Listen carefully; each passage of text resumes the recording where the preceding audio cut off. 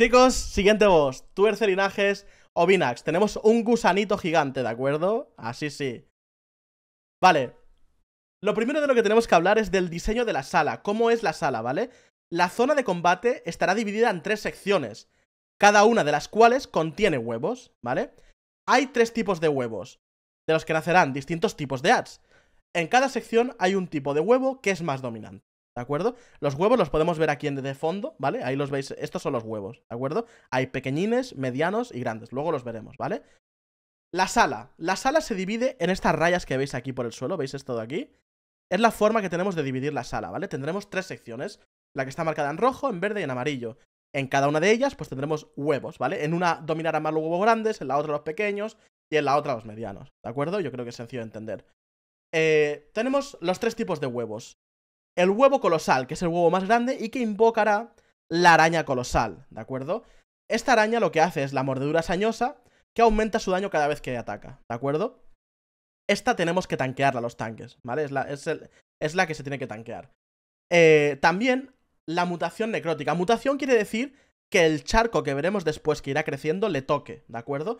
Si el charco le toque, o sea, al entrar en contacto con el charco, hace que aumente su salud y reduce la curación en el tanque. ¿De acuerdo? Esto no debería pasarnos, ¿vale? Si lo hacemos bien, no va a pasar, pero puede pasar. Luego tenemos los huevos temblorosos, que son los medianos. De aquí saldrá un gusano, ¿vale? Este bicho no hay que tanquearlo ni nada. Eh, hace ráfaga de veneno. Causa un gran daño a la raid, ¿vale? Es importante cortar esta habilidad. Es una OE damage, o sea, un raid damage, que tenemos que cortar, ¿vale?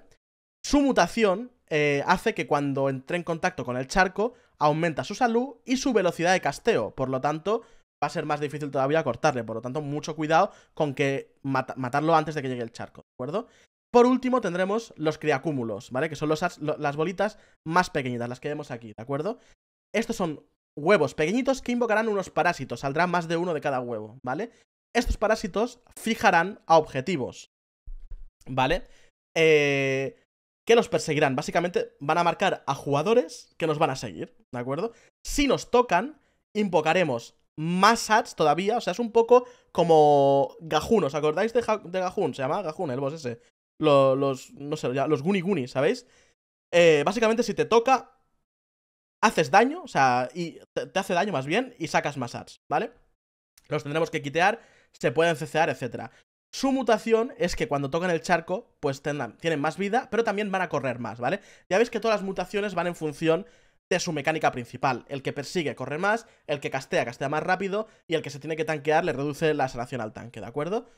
Eh, aquí los veis, fijaros. La araña se tanquea, el, el gusano que no se mueve, es un bicho estático, hace un casteo que tenemos que cortar, ¿vale? Que interrumpir. Y los as pequeñitos perseguirán a la gente y los tendremos que cecear y matar antes de que pillen a las personas, ¿vale? Y quitearlos, obviamente. Bien. Ingerir sangre negra. Al comienzo del combate, ¿vale? Cuando empecemos el combate, el boss detectará, eh, activará la sección más cercana. O sea, cuando el boss vea dónde está más cercano, hay tres secciones, la que hemos hablado al principio, pues cuando el boss detecte cuál es su sección más cercana, irá hacia ella, ¿de acuerdo? Y empezará el desbordamiento sanguíneo. ¿Qué es esto? Crea un charco que crecerá lentamente desde el borde de la sala hacia el centro, ¿vale? Si el charco llega a un huevo, lo hará eclosionar y pondrá un debuff a toda la raid. O sea, es importante que el huevo no explote gracias al charco, sino que lo hagamos explotar nosotros, ¿vale? Al terminar una de las secciones, comenzará con la siguiente más cercana, ¿de acuerdo? A ver si podemos ver aquí la fotito. Si os fijáis, si el boss, empezamos aquí el boss, pues detecta que su sección más cercana es esta área de aquí, ya hemos visto al principio, pues va hasta el fondo y aquí empieza a invocar eh, un charco que irá creciendo en la dirección que veis la flecha hacia el centro, ¿vale? Si aquí hay huevos y el charco toca el huevo, lo hace eclosionar y nos pone eh, un debuffo a toda la raid, ¿vale? Siguiente. La dosis experimental. Mata a dos, o sea, marca a dos jugadores, en heroico son cuatro, cuidado, con un debuff que hará eclosionar los huevos. Importante esta mecánica con la anterior, ¿vale? La juntamos. Cualquier huevo dentro del círculo morado eclosionará invocará ads, ¿vale? Los ads que hemos visto hasta ahora. Cada jugador irá a un huevo distinto, priorizando los huevos que estén más cerca del, del charco, digamos, ¿vale? En la foto lo vemos bien. Si os fijáis, nos va a marcar a varios jugadores con un círculo morado y tendremos que ir hacia los huevos para hacerlos explotar, ¿vale? Básicamente lo que queremos es explotarlos nosotros antes de que exploten gracias al charco. Porque si lo explota el charco, nos pone un debuff, ¿vale? Así que lo hacemos explotar y de aquí sacaremos las arañas, los, los gusanos y, y, los, y los parásitos, ¿vale? Básicamente tenemos que empezar a, petar los ads desde lo más cercano al charco hacia el exterior, ¿vale? Empezaremos en el interior y nos iremos alejando petando eh, huevos, ¿vale? Brebaje volátil, la mecánica de tanque. El brebaje volátil eh, se lanza sobre un tanque, esto lo hace el boss, ¿vale? Cuando el debuff expira, obtendrá un daño de naturaleza adicional en función de la salud restante del tanque. Cuanta más salud, menor será el daño. Se recomienda usar defensivo para estar con, más, con, la vida más alta, ¿vale? Cambio de tanque después de cada debuff. Básicamente nos pondrá un debuff a un tanque y cuando ese debuff termine, en función de la vida que tenga el tanque, le va a meter una hostia, ¿vale? Por lo tanto, es muy importante mitigar la máxima cantidad de, daño de ese debuff y que el healer te intente topear también antes de que acabe el debuff, ¿vale? Para que, haga lo el menor daño posible. Un cambio de tanque estándar, ¿vale? Eh, cada, cada, cada stack. En heroico, esto es nuevo, ¿vale? Hace la teraña pegajosa. Es otra red más en esta raid. O sea, tenemos ya en todos los bosses una red. Aplica una reducción de movimiento a varios jugadores de forma aleatoria, ¿vale? Es un circulito blanco que te ralentiza y que cuando es dispeleado dejas ahí una root, ¿vale? A todo el jugador que esté dentro. ¿Cuál es nuestro objetivo? Alejarnos del grupo y pedir dispel, ¿vale?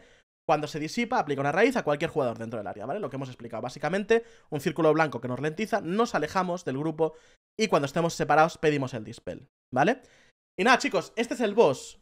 Resumen rápido. Recordar, tenemos tres espacios en la sala. El boss siempre irá al más cercano cuando empecemos el, el combate, ¿de acuerdo? De esa zona empezarán a crecer un charco que irá hacia el centro. Todos los huevos que sean tocados por el charco explotarán. ¿Cómo evitamos eso? Explotándolos nosotros con la dosis experimental, ¿vale? Con los circulitos morados que nos pondrán. Petaremos los charcos, de esos charcos saldrán arañas que hay que tanquear, eh, gusanos que hay que cortar y parásitos que tendremos que quitear, ¿de acuerdo? Los tanques tendréis que mitigar un debuff que os pone, porque cuando termine el debuff os hará más daño si tenéis poca vida, o sea que hay que mitigar lo máximo. Y en heroico tendremos la telaraña que tendremos que dejar fuera para que nos dispelen, ¿de acuerdo? Y nada, este es el boss, chicos, ya veis que no, que no es muy difícil, es un poco lioso porque son muchas cosas, pero realmente se resumen peto huevos, mato ads, salgo del charco, del charco que aparece del boss, ¿vale? No tiene más.